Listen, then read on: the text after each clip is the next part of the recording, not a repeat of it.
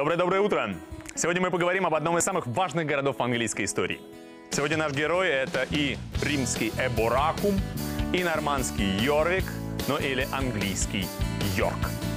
В начале 70-х годов первого века нашей эры легион римской армии под командованием Квинта Петилия Цезия пересек залив Хамбер и остановился на возвышении, расположенном у места слияния двух рек – Уза и Фосса, где и была построена первая деревянная крепость.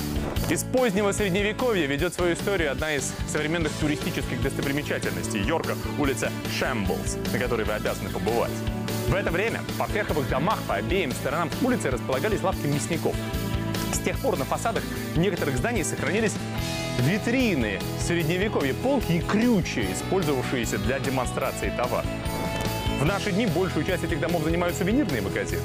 Когда бы не толпы зевак, сходящиеся над головой дома 15 века заставляли бы просто любого почувствовать себя в центре кварталов мясников Тюдоровского Йорка. В 1472 совершилось строительство нового кафедрального собора, занявшее в общей сложности более двух веков. Собор был выполнен в готическом стиле, который получает распространение в английской храмовой архитектуре в середине XII века.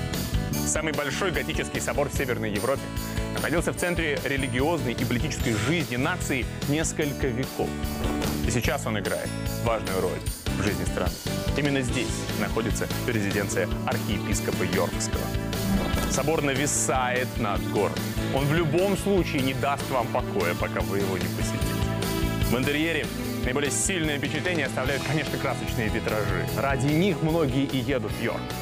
Собор обладает крупнейшим собранием средневековых витражей Британии. Здесь собраны две трети всего английского стекла 14-15 веков.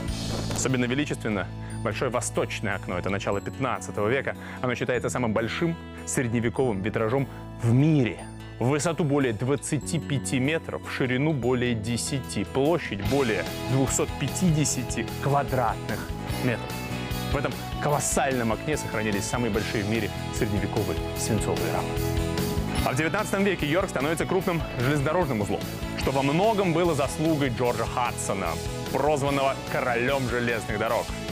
Первая станция была построена за городом в 1839 Железнодорожное сообщение связало Йорк с Лондоном, Дерби с Бирмингемом, Два года спустя в черте города откроется и вторая станция. А в конце 19-го в Йорке располагались заводы, управление Северо-Восточной железной дороги, который в общей сложности обеспечивал работой почти 5000 горожан. А сегодня Йорк может похвастаться одним из самых больших железнодорожных музеев в мире, который в 2001 году выиграл награду в номинации «Лучший музей Европы». Он размещен в бывшем паровозном депо, это самый богатый музей истории железных дорог на планете. И первый английский национальный музей за пределами Лондона. Здесь взору предстает все наследие, когда-то лидирующей Британии в железнодорожных технологиях. От комфортабельных вагонов-салонов до скоростного локомотива «Малар» класса А4. Среди экспонатов паровоз Стефансона, первый японский скоростной локомотив, личный вагон королевы Виктории, ну или, например, паровозик «Томас». Старинные здания, величественный собор, узенькие улочки, мощенные крепостные стены, роскошные средневековые ворота, романтически зеленеющие берега реки Уз создали Йорку славу одного из наиболее красивых городов Великобритании. Совершенно замечательно побродить и по улочкам старого города, подышать той непередаваемой британской атмосферой, чтобы почувствовать себя, как писал Генри Джеймс, в Англии, а значит, счастливым. Будьте счастливы, друзья, и приезжайте Йорк.